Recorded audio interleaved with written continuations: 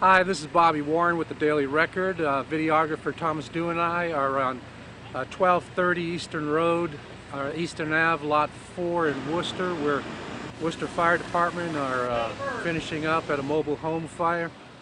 Neighbors heard an explosion around 9.30 and people half a block away felt as if there was something in their homes that had dropped or fell.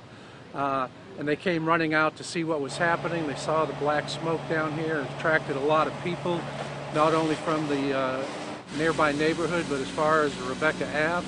Uh, the next door neighbors uh, to this fire uh, said it blew everything off their wall, blew their back door open, and uh, they called 911, got their dog, and got out of there.